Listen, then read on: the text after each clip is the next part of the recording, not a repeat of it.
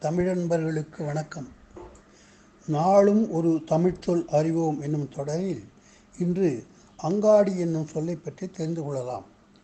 சங்க காலத்திலேயே பகலிலே இருந்த கடைகளுக்கு நாளங்காடி என்றும் இரவெல்லாம் கூட கடை திறந்திருக்கும் அதுக்கு அல்லங்காடி என்றும் பெயர் இருந்தது.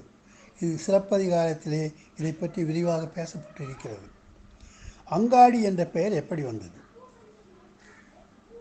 அங்கு என்ற சொல் ஏன் அங்கு வந்தது? என்றெல்லாம் பலருக்கு ஐயம் ஏற்படுகிறது. பாவாணர் இதை மிக நன்றாக விரித்து சொல்லார். அம்முதல் என்றாலே விற்றல்.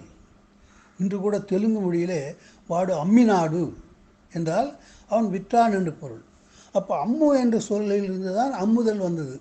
அம்மு என்ற சொல்லுக்கு என்ன பொருள்? ஒத்திருத்தல் பொருந்தி இருத்தல் என்று பொருள். சமமான மதிப்புடைய பொருள்கள். அதுதான் அந்த பண்டமாற்று என்பது. பண்டமாற்றிலே ஒருவன் ஒன் ஏதேனும் ஒரு பொருளை விற்கிறான். சந்தைகளிலே நீங்கள் பார்க்கலாம் மாடு வாங்க வேண்டும் நினைப்பவன் ஆடுகளை ஓட்டிச் செல்வான். நான் நான்கு ஆடுகளை தருகிறேன் நீ ஒரு மாடு கொடு என்று கேட்பான். பக்கத்தில் இருக்கும் இதே போல க- விற்று கொண்டிருப்பான். இவர்களுக்குள் என்ன பேசி முடித்து கொண்டார்கள் என்பது பக்கத்தில் இருப்பவனுக்கு தெரியக்கூடாது. எனவே வணிகர்கள் ரெண்டு பேரும் விற்பவனும் வாங்குபவனும் ஒரு துண்டை மேலே போட்டுக்கொண்டு இருவரும் உள்ளேயே கை பிணைந்து கொள்வார்கள்.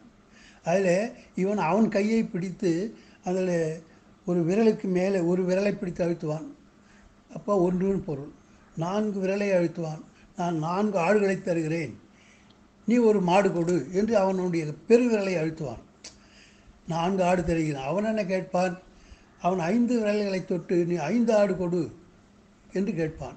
கடைசியில் எப்படியோ பேசி முடிப்பார்கள். பிறகு பக்கத்தில் தெரியாமலேயே பேசி முடிப்பார்கள். இதுதான் பண்டமாற்று சங்க இலக்கியத்தில் கூட உப்பு விற்கிறவள் வருவாள். உள்ளூரில் வந்து அம்மா உப்பு என்ன விலை? என்று கேட்கிறார்கள்.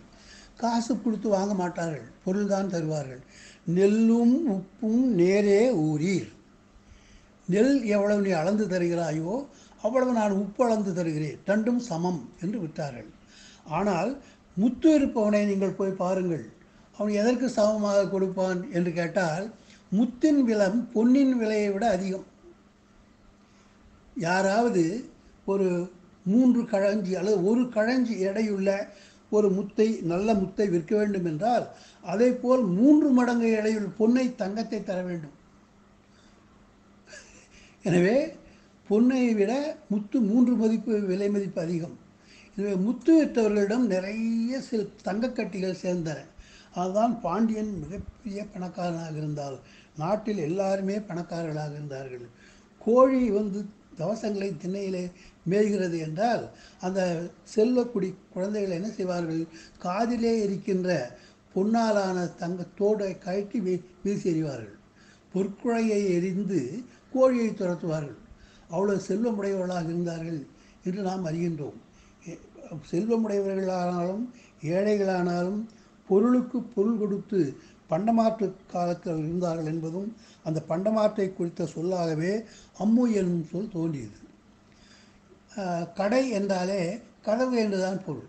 கடையின் கதவு திறந்திருந்தால் கடை திறந்திருக்கிறது. க- கடை மூடியிருக்கிறது என்பார்கள்.